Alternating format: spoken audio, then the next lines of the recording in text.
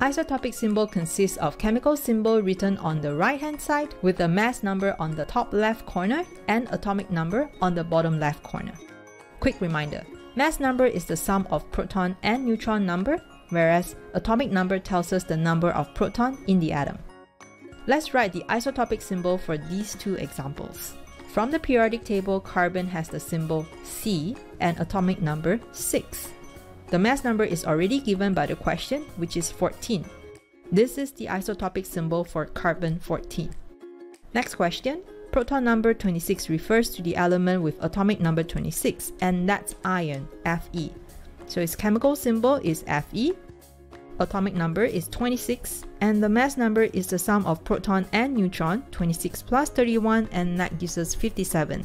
This is the isotopic symbol for an element with 26 protons and 31 neutrons.